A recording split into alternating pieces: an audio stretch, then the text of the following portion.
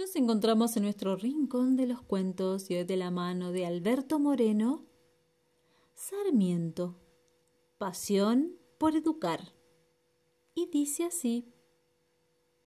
Esta es la historia de un chico sanjuanino que nació en una familia muy pobre y que a puro esfuerzo llegó a ser presidente de la Argentina. Domingo era muy curioso y cuando se dio cuenta de todo lo que podía conocer a través de los libros, les pidió a su papá y a su tío que le enseñaran a leer. Puso muchas ganas y a los cuatro años ya leía como todo un adulto. Él le gustaba sentarse a leer junto a su mamá Paula y hacerle compañía mientras ella tejía en el patio de su casa de adobe. Doña Paula mantenía el hogar con los tejidos de su telar. Como tenía plata para juguetes, una de las cosas que más le divertía era fabricar soldaditos con barro. Y se llevó más de un chichón cuando sus amigos del barrio se enfrentaban en batallas apiedradas con otros chicos. En la escuela primaria era tan buen alumno que los directores lo nombraron primer ciudadano. Domingo quería lograr una beca para hacer la secundaria, pero no pudo conseguirla. Por eso se prometió que iba a hacer lo imposible para que eso no le sucediera a nadie más.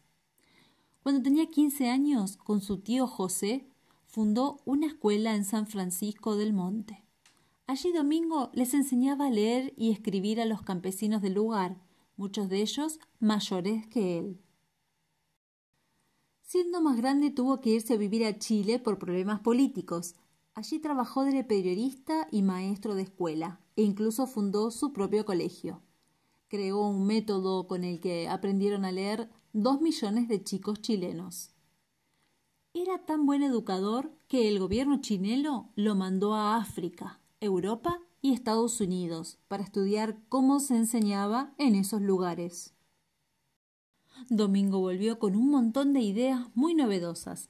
Él quería aplicarlas en Argentina para que tuviese la mejor educación y así cumplir la promesa que se había hecho.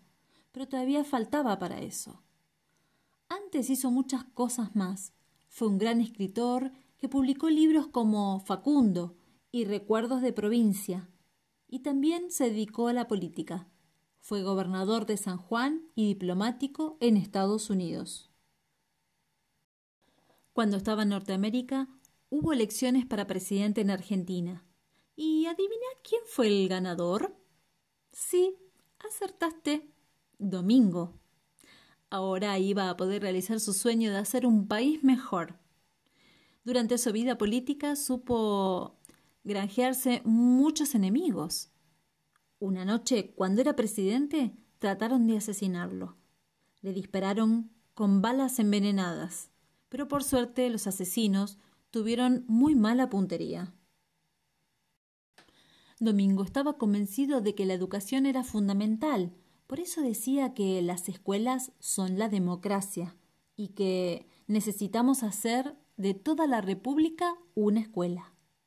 Como presidente fundó más de 800 escuelas. Había cumplido su promesa.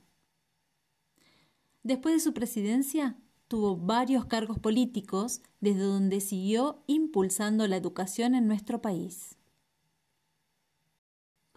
Pero ya viejito, el padre del aula se retiró de la política y se fue a pasar sus últimos días a una casa en Paraguay. Ese fue Sarmiento, el padre del aula.